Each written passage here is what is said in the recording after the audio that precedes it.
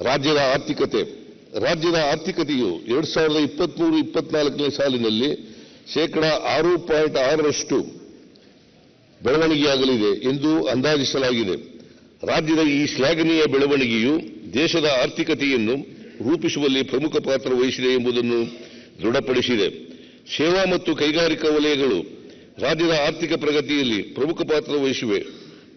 ಕಳೆದ ಸಾಲಿಗೆ ಹೋಲಿಸಿದರೆ ಇಪ್ಪತ್ಮೂರು, ಇಪ್ಪತ್ನಾಲ್ಕನೇ ಸಾಲಿನಲ್ಲಿ ಸೇವಾ ವಲಯವು ಎಂಟು ಪಾಯಿಂಟ್ ಏಳರಷ್ಟು ಸ್ಥಿರ ಬೆಲೆಗಳಲ್ಲಿ ಮತ್ತು ಕೈಗಾರಿಕಾ ವಲಯವು ಶೇಕಡ ಏಳು ಪಾಯಿಂಟ್ ಐದರಷ್ಟು ಸ್ಥಿರ ಬೆಲೆಗಳಲ್ಲಿ ಬೆಳವಣಿಗೆ ಸಾಧಿಸಿದೆ.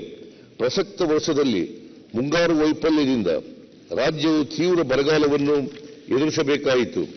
ಇದರಿಂದ ಕೃಷಿ ಕ್ಷೇತ್ರವು ಒಂದು ಪಾಯಿಂಟ್ ಎಂಟರಷ್ಟು ಸ್ಥಿರ ಬೆಲೆಗಳಲ್ಲಿ ಋಣಾತ್ಮಕ ಬೆಳವಣಿಗೆ ಹೊಂದಿದೆ. ಜಾಗತಿಕ ಆರ್ಥಿಕ ಬೆಳವಣಿಗೆಗಳಲ್ಲಿನ ಕುಸಿತ ಹಾಗೂ ಅಭಿವೃದ್ಧಿ ಹೊಂದಿದ ರಾಷ್ಟ್ರಗಳಲ್ಲಿನ ಬಡ್ಡಿ ದರಗಳ ಹೆಚ್ಚಳದಿಂದ ಪ್ರಸಕ್ತ ವರ್ಷದ ಮೊದಲ ಆರು ತಿಂಗಳುಗಳಲ್ಲಿ ನಮ್ಮ ದೇಶಕ್ಕೆ ವಿದೇಶಿ ನೇರ ಹೂಡಿಕೆಯ ಕುಸಿತದ ನಡುವೆಯೂ ರಾಜ್ಯದಲ್ಲಿ ಸೆಪ್ಟೆಂಬರ್ ಎರಡ್ ಸಾವಿರದ ಇಪ್ಪತ್ಮೂರು ಅಂತ್ಯದವರೆಗೆ ಎರಡು ಪಾಯಿಂಟ್ ಎಂಟು ಶತಕೋಟಿ ಅಮೆರಿಕನ್ ಡಾಲರ್ಗಳಷ್ಟು ವಿದೇಶಿ ಹೂಡಿಕೆಯಾಗಿರುತ್ತದೆ. ಇದು ವಿದೇಶಿ ಬಂಡವಾಳದಾರರಿಗೆ ರಾಜ್ಯವು ಆಕರ್ಷಣೆ ಹೂಡಿಕೆ ಕೇಂದ್ರವಾಗಿರುವುದನ್ನು ಸಾಬೀತುಪಡಿಸುತ್ತದೆ.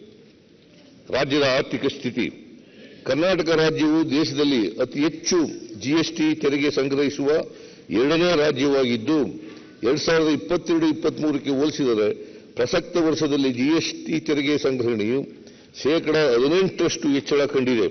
ಸ್ವಂತ ತೆರಿಗೆ ರಾಜಸ್ವವು ಹಿಂದಿನ ವರ್ಷಕ್ಕೆ ಹೋಲಿಸಿದರೆ ಇಪ್ಪತ್ಮೂರು, ಇಪ್ಪತ್ನಾಲ್ಕರಲ್ಲಿ ಶೇಕಡ ಹನ್ನೆರಡರಷ್ಟು ಬೆಳವಣಿಗೆಯನ್ನು ಸಾಧಿಸಲಿದೆ. ಗ್ಯಾರಂಟಿ ಯೋಜನೆಗಳಿಂದ ಜನರು, ಜನರ ಆದಾಯ ಪ್ರಮಾಣ ಹೆಚ್ಚಾಗಿ ರಾಜ್ಯದ ಆರ್ಥಿಕತೆಯನ್ನು ಉತ್ತೇಜಿಸುವಲ್ಲಿ ಸಹಕಾರಿಯಾಗಿರುವುದನ್ನು ಇದು ತೋರಿಸುತ್ತದೆ. ಕೇಂದ್ರ ಹಾಗೂ ರಾಜ್ಯಗಳ ಸಂಬಂಧ ನೌಕರ ಸಂಬಂಧ, ನೌಕರ ಹಾಗೂ ಯಜಮಾನರ ಸಂಬಂಧಗಳಾಗದೆ ಸಂವಿಧಾನದತ್ತ ಅಧಿಕಾರ ವ್ಯಾಪ್ತಿಯೊಳಗೆ ಸ್ವಾಯತ್ತ ಘಟಕಗಳಾಗಬೇಕು. ರಾಜ್ಯಗಳ ಜೊತೆಗೆ ಸಮಾನತೆಯ ಆಧಾರದಲ್ಲಿ ವ್ಯವಹರಿಸಬೇಕು. ಭಾರತ ರತ್ನ ಕರ್ಪೂರಿ ಠಾಕೂರ್ ಅವರು ಹೇಳಿರ್ತಕ್ಕಂಥದ್ದು. ಸರಕು ಮತ್ತು ಸೇವಾ ತೆರಿಗೆಯನ್ನು ಪರಿಚಯಿಸುವ ಮೂಲಕ ರಾಜ್ಯಗಳ ತೆರಿಗೆ ಸಂಗ್ರಹಣೆಯು ಶೇಕಡ ಹದಿನಾಲ್ಕರಷ್ಟು ಬೆಳವಣಿಗೆ ಹೊಂದಲಿದ್ದು, ಒಂದು ವೇಳೆ ಅಂದಾಜಿಗಿಂತ ಕಡಿಮೆ ಸಂಗ್ರಹವಾದಲ್ಲಿ ಕೇಂದ್ರ ಸರ್ಕಾರದಿಂದ ಪರಿಹಾರ ನೀಡುವುದಾಗಿ ರಾಜ್ಯ ಸರ್ಕಾರಗಳಿಗೆ ಭರವಸೆ ನೀಡಲಾಗಿತ್ತು. ಶೇಕಡ ಹದಿನಾಲ್ಕರಷ್ಟು ಬೆಳವಣಿಗೆ ದರದಂತೆ ಎರಡು ಸಾವಿರದ ಹದಿನೇಳರಿಂದ ಎರಡು ಸಾವಿರದ ಇಪ್ಪತ್ಮೂರು, ಇಪ್ಪತ್ನಾಲ್ಕರವರೆಗೆ ರಾಜ್ಯದಲ್ಲಿ ಒಟ್ಟು ನಾಲ್ಕು ಲಕ್ಷದ ತೊಂಬತ್ತೆರಡು ಸಾವಿರದ ಇನ್ನೂರ ತೊಂಬತ್ತಾರು ಕೋಟಿ ರೂಗಳ ಜಿಎಸ್ಟಿ ತೆರಿಗೆ ಸಂಗ್ರಹಣೆಯಾಗುತ್ತದೆ ಎಂದು ಅಂದಾಜಿಸಲಾಗಿತ್ತು. ಆದರೆ ವಾಸ್ತವಿಕವಾಗಿ ರಾಜ್ಯದಲ್ಲಿ ಮೂರು ಲಕ್ಷದ ಇಪ್ಪತ್ತಾರು ಸಾವಿರದ ಏಳ್ನೂರ ಅರವತ್ನಾಲ್ಕು ಕೋಟಿ ರೂಗಳ ಜಿಎಸ್ಟಿ ತೆರಿಗೆ ಸ್ವೀಕೃತವಾಗಿದೆ. ಜಿಎಸ್ಟಿ ತೆರಿಗೆ ಸಂಗ್ರಹಣೆಯಲ್ಲಿನ ಕೊರತೆ ಒಂದು ಲಕ್ಷದ ಅರವತ್ತೈದು ಸಾವಿರದ ಐನೂರ ಮೂವತ್ತೆರಡು ಕೋಟಿ ರೂಗಳಿಗೆ ಎದುರಾಗಿ ಕೇಂದ್ರ ಸರ್ಕಾರವು ರಾಜ್ಯಕ್ಕೆ ಕೇವಲ ಒಂದು ಲಕ್ಷದ ಆರು ಸಾವಿರದ ಇನ್ನೂರ ಐವತ್ತೆಂಟು ಕೋಟಿ ರು ಪರಿಹಾರವನ್ನು ಮಾತ್ರ ಬಿಡುಗಡೆ ಮಾಡಿದೆ. ಜಿಎಸ್ಟಿ ತೆರಿಗೆಯ ಈ ಅವೈಜ್ಞಾನಿಕ ಅನುಷ್ಠಾನದಿಂದ ರಾಜ್ಯಕ್ಕೆ ಕಳೆದ ಏಳು ವರ್ಷಗಳ ಅವಧಿಯಲ್ಲಿ ಒಟ್ಟು ಐವತ್ತೊಂಬತ್ತು ಸಾವಿರದ ಇನ್ನೂರ ಎಪ್ಪತ್ನಾಲ್ಕು ಕೋಟಿ ರೂಗಳ ನಷ್ಟವಾಗಿರುತ್ತದೆ. ಹದಿನೈದನೇ ಹಣಕಾಸು ಆಯೋಗವು ಎರಡ್ ಸಾವಿರದ ಇಪ್ಪತ್ತು, ಇಪ್ಪತ್ತೊಂದಕ್ಕೆ ಅನ್ವಯವಾಗುವಂತೆ ನೀಡಿದ್ದ ಮಧ್ಯಂತರ ವರದಿಯ ಶಿಫಾರಸಿನಿಂದ ರಾಜಕಾರಣದ ಅನ್ಯಾಯವನ್ನು ಸರಿಪಡಿಸುವಲ್ಲಿ ಇಂದಿನ ಸರ್ಕಾರವು ವಿಫಲವಾಯಿತು. ಇಂದಿನ ಸರ್ಕಾರ ಕೈಚೆಲ್ಲಿ ಕೂತಿದ್ದರ ಪರಿಣಾಮವಾಗಿ ಅಂತಿಮ ವರದಿಯ ಶಿಫಾರಸಿನಲ್ಲಿಯೂ ಸಹ ರಾಜ್ಯಕ್ಕೆ ತೆರಿಗೆ ಹಂಚಿಕೆಯಲ್ಲಿ ಅತಿ ಹೆಚ್ಚು ನಷ್ಟ ಅನುಭವಿಸಬೇಕಾಯಿತು. ರಾಜ್ಯದ ಜಿಎಸ್ಟಿಪಿ ಲೆಕ್ಕಾಚಾರ ಮಾಡುವ ವಿಧಾನದಲ್ಲಿ ಬದಲಾವಣೆ ಹಾಗೂ ಸಾವಿರದ ಒಂಬೈನೂರ ಎಪ್ಪತ್ತೊಂದರ ಬದಲು ಎರಡ್ ಸಾವಿರದ ಹನ್ನೊಂದರ ಜನಗಣತಿ ವರದಿಯ ಬಳಕೆಯಿಂದಾಗಿ ಅಭಿವೃದ್ಧಿಶೀಲ ರಾಜ್ಯಗಳಿಗೆ ಭಾರೀ ನಷ್ಟ ಉಂಟಾಗಿದೆ. ಹದಿನಾಲ್ಕೇ ಹಣಕಾಸು ಆಯೋಗ ಶಿಫಾರಸು ನೀಡಿದ್ದ ಹಂಚಿಕೆಯ ಸೂತ್ರವನ್ನು ಪಾಲಿಸಿದ್ದರೆ ಕರ್ನಾಟಕ ರಾಜ್ಯಕ್ಕೆ ಎರಡು ಲಕ್ಷದ ಎಪ್ಪತ್ತೇಳು ಸಾವಿರದ ಮುನ್ನೂರ ಐವತ್ತು ಕೋಟಿ ರೂಗಳ ತೆರಿಗೆ ಪಾಲು ಸ್ವೀಕೃತವಾಗುತ್ತಿತ್ತು. ಆದರೆ ಹದಿನೈದನೇ ಹಣಕಾಸು ಆಯೋಗದ ಶಿಫಾರಸಿನಿಂದ ರಾಜ್ಯಕ್ಕೆ ಎರಡು ಲಕ್ಷದ ಹದಿನೈದು ಸಾವಿರದ ಇನ್ನೂರ ಐವತ್ಮೂರು ಕೋಟಿ ರೂಗಳು ಮಾತ್ರ ಹಂಚಿಕೆಯಾಗಲಿದೆ ಎಂದು ಅಂದಾಜಿಸಲಾಗಿದೆ. ಹದಿನೈದನೇ ಹಣಕಾಸು ಆಯೋಗದ ಆರು ವರ್ಷದ ಅವಧಿಯಲ್ಲಿ ಕೇಂದ್ರದಿಂದ ರಾಜ್ಯಗಳಿಗೆ ಹಂಚಿಕೆಯಾಗುವ ಒಟ್ಟು ತೆರಿಗೆ ಹಂಚಿಕೆಯಲ್ಲಿ ರಾಜ್ಯಕ್ಕೆ ಅರವತ್ತೆರಡು ಸಾವಿರದ ತೊಂಬತ್ತೆಂಟು ಕೋಟಿ ರೂಗಳಷ್ಟು ನಷ್ಟವಾಗಿದೆ ಎಂದು ಅಂದಾಜಿಸಲಾಗಿದೆ. ಇದಲ್ಲದೆ ಹದಿನೈದನೇ ಹಣಕಾಸು ಆಯೋಗವು ಮೊದಲನೇ ವರದಿಯಲ್ಲಿ ಇಪ್ಪತ್ತು, ಎರಡ್ ಸಾವಿರದ ಇಪ್ಪತ್ತು, ಇಪ್ಪತ್ತೊಂದನೇ ವರ್ಷಕ್ಕೆ ಐದು ಸಾವಿರದ ನಾಲ್ಕುನೂರ ತೊಂಬತ್ತೈದು ಕೋಟಿ ರು ವಿಶೇಷ ಅನುದಾನ ಒದಗಿಸುವಂತೆ ಹಾಗೂ ಅಂತಿಮ ವರದಿಯಲ್ಲಿ ಬೆಂಗಳೂರಿನ ಅಭಿವೃದ್ಧಿಗೆ ಆರು ಸಾವಿರ ಕೋಟಿ ರು ರಾಜ್ಯ ಕೇಂದ್ರಿತ ಅನುದಾನವನ್ನು ಶಿಫಾರಸು ಮಾಡಿತ್ತು. ಆದರೆ ಈ ಶಿಫಾರಸುಗಳನ್ನು ಕೇಂದ್ರ ಸರ್ಕಾರವು ತಿರಸ್ಕರಿಸಿರುತ್ತದೆ. ರಾಜ್ಯದಲ್ಲಿ ಡಬಲ್ ಇಂಜಿನ್ ಎಂದು ಹೇಳಿಕೊಳ್ಳುವ ಸರ್ಕಾರ ಇದ್ದರೂ ಸಹ ಕೇಂದ್ರದಿಂದ ಒಟ್ಟು ಹನ್ನೊಂದು ಸಾವಿರದ ನಾಲ್ಕುನೂರ ತೊಂಬತ್ತೈದು ಕೋಟಿ ರುಗಳ ವಿಶೇಷ ಅನುದಾನ ಪಡೆಯುವಲ್ಲಿ ಇಂದಿನ ಸರ್ಕಾರವು ಅಸಮರ್ಥವಾಗಿರುತ್ತದೆ.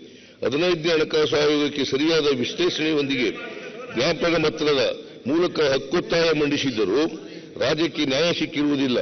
ಈ ನ್ಯಾಯವು ಮರುಕಳಿಸುವಂತೆ ಮುನ್ನೆಚ್ಚರಿಕೆ ಕ್ರಮವಾಗಿ ಸಚಿವ ಸಂಪುಟದ ಮಾರ್ಗದರ್ಶನದೊಂದಿಗೆ ವಿಷಯ ತಜ್ಞರನ್ನು ಒಳಗೊಂಡ ತಾಂತ್ರಿಕ ಕೋಶವನ್ನು ರಚಿಸಿ ರಾಜ್ಯಕ್ಕೆ ಹೆಚ್ಚು ತೆರಿಗೆ ಪಾಲು ಮತ್ತು ಅನುದಾನವನ್ನು ಪಡೆಯಲು ಒಂದು ಜ್ಞಾಪನಾ ಪತ್ರವನ್ನು ಸಿದ್ಧಪಡಿಸಿ ಸಮರ್ಥವಾದ ಮತ್ತು ವೈಜ್ಞಾನಿಕವಾಗಿ ವಿಶ್ಲೇಷಿಸಿದ ಅಂಕಿಅಂಶಗಳೊಂದಿಗೆ ಹದಿನಾರನೇ ಹಣಕಾಸು ಆಯೋಗಕ್ಕೆ ಸಲ್ಲಿಸಲು ನಿರ್ಧರಿಸಲಾಗಿದೆ.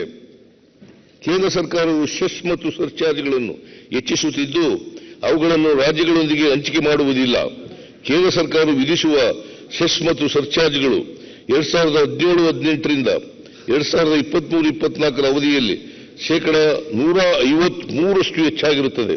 ಸೆಸ್ ಮತ್ತು ಸರ್ಚಾರ್ಜ್ಗಳನ್ನು ರಾಜ್ಯ, ರಾಜ್ಯಗಳೊಂದಿಗೆ ಹಂಚಿಕೆ ಮಾಡಿದ್ದರೆ ರಾಜ್ಯಗಳಿಗೆ ಒಟ್ಟು ಹನ್ನೊಂದು ಲಕ್ಷದ ಮೂವತ್ತು ನಾಲ್ಕು ಸಾವಿರದ ಮುನ್ನೂರ ಒಂದು ಕೋಟಿ ರುಗಳು ಹಂಚಿಕೆಯಾಗುತ್ತಿತ್ತು.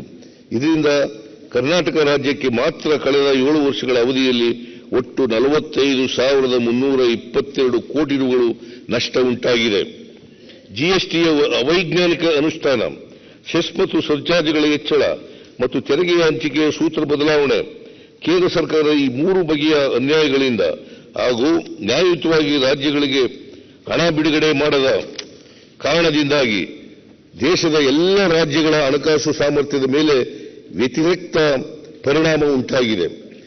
ಕೇಂದ್ರದಲ್ಲಿ ಆಡಳಿತದಲ್ಲಿರುವ ಪಕ್ಷವೇ ದೇಶದ ಹಲವು ರಾಜ್ಯಗಳಲ್ಲಿ ಆಡಳಿತದಲ್ಲಿರುವ ಕಾರಣ ಅವರಿಗೆ ಈ ಅನ್ಯಾಯಗಳ ವಿರುದ್ಧ ದನಿ ಎತ್ತಲು ಸಾಧ್ಯವಾಗುತ್ತಿಲ್ಲ. ಆದ್ದರಿಂದ ರಾಜ್ಯಗಳಿಗೆ ಆಗುತ್ತಿರುವ ಅನ್ಯಾಯದ ವಿರುದ್ಧ ದನಿ ಎತ್ತಿ ರಾಜ್ಯಗಳ ಹಕ್ಕಿನ ರಕ್ಷಣೆ ಮಾಡುವ ಹೊಣೆಗಾರಿಕೆ ನಮ್ಮದಾಗಿ. ನಮ್ಮದಾಗಿದೆ ಲೂಟಿ ಮಾಡೋ ಸರ್ಕಾರ. ಕೇಂದ್ರ ಸರ್ಕಾರ ಆದಾಯದ.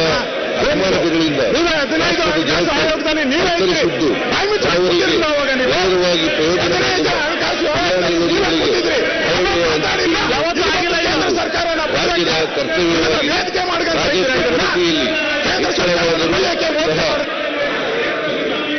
ಹಾಗಾದ್ರೆ ಮಾತಾಡ್ಲಿಕ್ಕಿಲ್ವಾ? ಆಯ್ತು ಕೂತು ಮತ್ತೆ ಮಾತಾಡಿ. ಬಂದದಾಗ ನಂತರ ಮಾತಾಡಿ. ನಂತರ ಮಾತಾಡಿ. ರಾಜಸ್ವ. ಈ ಹಿನ್ನೆಲೆಯಲ್ಲಿ ನಾವು ರಾಜಸ್ವ ಕೊರತೆಯ ಆಯವ್ಯಯವನ್ನು ಮಾಡಿಸಿದ್ದರೂ ಮಂಡಿಸಿದ್ದರೂ ಸಹ ಎರಡ್ ಸಾವಿರದ ಇಪ್ಪತ್ನಾಲ್ಕು ಕಲ್ಯಾಣ ಕಾರ್ಯಕ್ರಮಗಳಿಗೆ ಒಂದು ಲಕ್ಷದ ಇಪ್ಪತ್ತು ಸಾವಿರದ ಮುನ್ನೂರ ಎಪ್ಪತ್ಮೂರು ಕೋಟಿ ರುಗಳ ಅನುದಾನವನ್ನು ನೋಡಿ ಮಾಡುತ್ತೇವೆ ಅಲ್ಲದೆ ಬಂಡವಾಳ ವೆಚ್ಚಕ್ಕೆ ಅನುದಾನದ ಕೊರತೆ ಉಂಟಾಗದಂತೆ ಉಂಟಾಗದಂತೆ ನಾವು ವಿತ್ತೀಯ ಕೊರತೆಯನ್ನು ಜಿಎಸ್ಡಿಪಿಯ ಶೇಕಡ ಮೂರರ ಒಳಗೆ ಮತ್ತು ಒಟ್ಟು ಬಾಕಿ ಹೊಣೆಗಾರಿಕೆಗಳನ್ನು ಜಿಎಸ್ಡಿಪಿಯ ಶೇಕಡ ಇಪ್ಪತ್ತೈದರೊಳಗೆ ಕಾಯ್ದುಕೊಳ್ಳುವ ಮೂಲಕ ವಿತ್ತೀಯ ಹೊಣೆಗಾರಿಕೆಯನ್ನು ಪಾಲಿಸಿರುತ್ತೇವೆ. ಕೃಷಿ, ಒಲವ ಬೆಳೆಯ ಕುಯ್ದು ಬೆಂಗಳೂರು ಬಿಸಿಲಿನಲ್ಲಿ ಎಲ್ಲರೂ ನನ್ನ ಜನಗಳು ತೆಗೆದಿದೆ.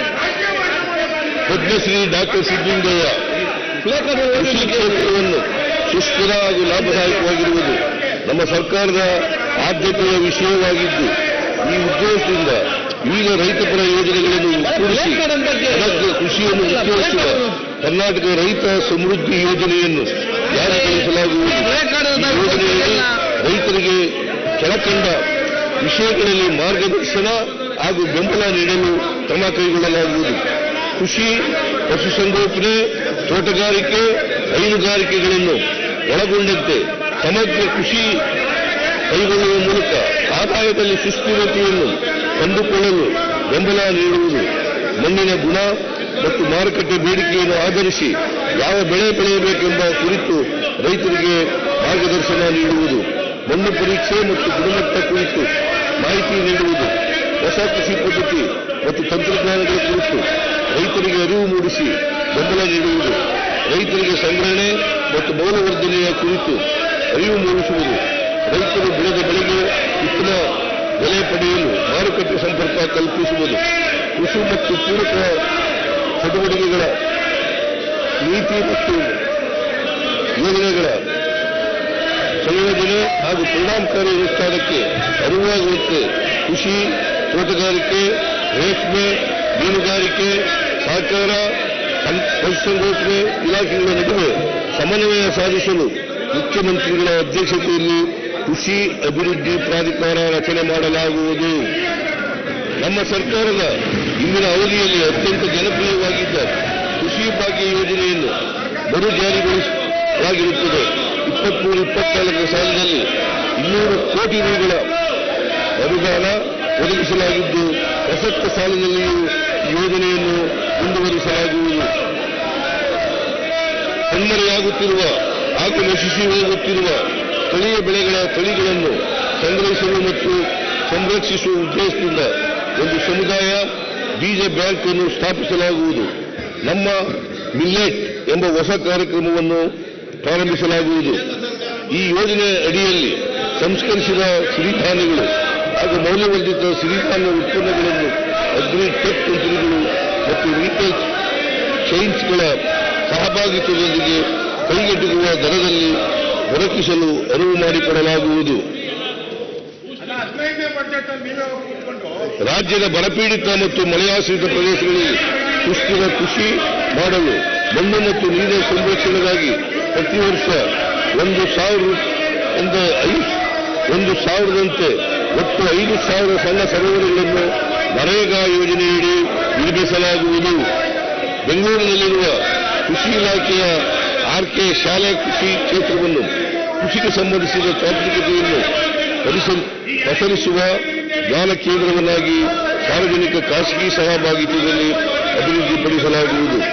ರೈತರಿಗೆ ಕೀಟ, ರೋಗ ಮತ್ತು ಪೋಷಕಾಂಶ ನಿರ್ವಹಣೆಯ ಸಲಹೆ ನೀಡಲು ರಾಯಚೂರು ಕೃಷಿ ವಿಶ್ವವಿದ್ಯಾಲಯವು ಅಭಿವೃದ್ಧಿಪಡಿಸಿರುವ ಈ ಸ್ಟಾಪ್ ತಂತ್ರಾಂಶದ ಸೌಲಭ್ಯವನ್ನು ಎಲ್ಲ ರೈತರಿಗೆ ಪರಿಚಯಿಸಲು ಕ್ರಮ ವಹಿಸಲಾಗುವುದು. ಆಹಾರ ಸಂಸ್ಕರಣಾ ವಲಯವು ರೈತರ ಆದಾಯ ಹೆಚ್ಚಿಸುವಲ್ಲಿ ನಿರ್ಣಾಯಕ ಪಾತ್ರವನ್ನು ವಹಿಸುತ್ತದೆ. ಕೃಷಿ ಉತ್ಪನ್ನಗಳು ವ್ಯರ್ಥವಾಗದಂತೆ ತಡೆಯಲು ಹಾಗೂ ಬೆಳೆಗಳಿಗೆ ಸಮರ್ಪಕ ಬೆಲೆ ದೊರಕಿಸುವ ಸಲುವಾಗಿ ಕೃಷಿ ಇಲಾಖೆಯ ಅಧೀನದಲ್ಲಿ ಪ್ರತ್ಯೇಕ ಆಹಾರ ಸಂಸ್ಕರಣಾ ಆಯುಕ್ತಾಲಯ ರಚಿಸಲಾಗುವುದು. ಇದರ ಮೂಲಕ ವಿವಿಧ ಇಲಾಖೆಗಳಲ್ಲಿರುವ ಆಹಾರ ಸಂಸ್ಕರಣೆಗೆ ಸಂಬಂಧಿಸಿದ ಎಲ್ಲ ಯೋಜನೆಗಳನ್ನು ಒಗ್ಗೂಡಿಸಿ ಪರಿಣಾಮಕಾರಿಯಾಗಿ ಅನುಷ್ಠಾನಗೊಳಿಸಲಾಗುವುದು ಅನುಷ್ಠಾನಗೊಳಿಸಲಾಗುವುದು. ಕೃಷಿ ಮತ್ತು ತೋಟಗಾರಿಕೆ ಉತ್ಪನ್ನಗಳ ರಫ್ತನ್ನು ಉತ್ತೇಜಿಸಲು ಕರ್ನಾಟಕ ರಾಜ್ಯ ಕೃಷಿ ಉತ್ಪನ್ನಗಳ ಸಂಸ್ಕರಣೆ ಮತ್ತು ರಫ್ತು ನಿಯಮಿತ ಸಪೆಕ್ ಸಂಸ್ಥೆಯನ್ನು ಬಲಪಡಿಸಲು ಕ್ರಮವಹಿಸಲಾಗುವುದು ಪ್ರಸಕ್ತ ಸಾಲಿನಲ್ಲಿ ಈ ಉದ್ದೇಶಕ್ಕಾಗಿ ಪಿಎಂ ಎಸ್ಎಂಇ ಯೋಜನೆ ಅಡಿಯಲ್ಲಿ ಎಂಬತ್ತು ಕೋಟಿ ರೂಗಳನ್ನು ಒದಗಿಸಲಾಗುವುದು. ಕೃಷಿ ಮತ್ತು ತೋಟಗಾರಿಕೆ ಉತ್ಪನ್ನಗಳ ಸಂಸ್ಕರಣೆ, ಮೌಲ್ಯವರ್ಧನೆ ಮತ್ತು ರಫ್ತನ್ನು ಉತ್ತೇಜಿಸಲು ರಾಜ್ಯದಲ್ಲಿರುವ ವಿಮಾನ ನಿಲ್ದಾಣಗಳ ಹತ್ತಿರದಲ್ಲಿ ಸಾರ್ವಜನಿಕ ಖಾಸಗಿ ಸಹಭಾಗಿತ್ವದಲ್ಲಿ ಆಹಾರ ಪಾರ್ಕ್ಗಳನ್ನು ಸ್ಥಾಪಿಸಲಾಗುವುದು. ಪ್ರಸಕ್ತ ಸಾಲಿನಲ್ಲಿ ಶಿವಮೊಗ್ಗದ ಸೋಗಾನೆ, ವಿಜಯಪುರದ ಇಟ್ಟಂಗಿಹಾಳ ಮತ್ತು ಬೆಂಗಳೂರು ಗ್ರಾಮಾಂತರ ಸೂಜನಹಳ್ಳಿಯಲ್ಲಿ ಸ್ಥಾಪಿಸಲಾಗುವುದು. ಕೃಷಿ ನಾವೀನ್ಯತೆಯ ಯುಗದಲ್ಲಿ ಪಾರಂಪರಿಕ ಕೃಷಿ ಪದ್ಧತಿಯಲ್ಲಿ ಗಣನೀಯ ಬದಲಾವಣೆಗಳಾಗಿದ್ದು ಉಪಗ್ರಹ ಚಿತ್ರ, ಸಂಚಲನಗಳ ಬಳಕೆ ಮತ್ತು ಮೆಷಿನ್ ಲರ್ನಿಂಗ್ನಂತಹ ಮೆಷಿನ್ ಲರ್ನಿಂಗ್ ಅತ್ಯಾಧುನಿಕ ತಂತ್ರಜ್ಞಾನಗಳನ್ನು ಆಧರಿಸಿ ಬೆಳೆಯ ಉತ್ಪಾದಕತೆ ಮುನ್ಸೂಚನೆಯನ್ನು ಮಾಡಲು ಒಂದು ದತ್ತಾಂಶವನ್ನು ಅಭಿವೃದ್ಧಿಪಡಿಸಲಾಗುವುದು. ರೈತ ಉತ್ಪಾದಕ ಸಂಸ್ಥೆಗಳನ್ನು ಎಫ್ಪಿಒ ಇನ್ನಷ್ಟು ಸದೃಢ ಮಾಡಿ ಸುಸ್ಥಿರವಾಗಿ ಕಾರ್ಯನಿರ್ವಹಿಸಲು ಪೂರಕವಾದ ತರಬೇತಿ ಮಾರ್ಗದರ್ಶನ ಹಾಗೂ ಬೆಂಬಲ ನೀಡುವ ಅಗ್ರಿ ಆಕ್ಸಿಲರೇಟರ್ ಪ್ಲಾಟ್ಫಾರಂ ಮೂಲಕ ವಲಯದ ಸ್ಟಾರ್ಟ್ಅಪ್ಗಳನ್ನು ಉತ್ತೇಜಿಸಲಾಗುವುದು. ಮಂಡ್ಯ ಜಿಲ್ಲೆಯ ವಿಶಿ ಫಾರಂನಲ್ಲಿ ಕೃಷಿ ವಿಶ್ವವಿದ್ಯಾಲಯ ಸ್ಥಾಪಿಸುವ ಕುರಿತು ಪರಿಶೀಲಿಸಲು ತಜ್ಞರ ಸಮಿತಿ ರಚಿಸಲಾಗುವುದು.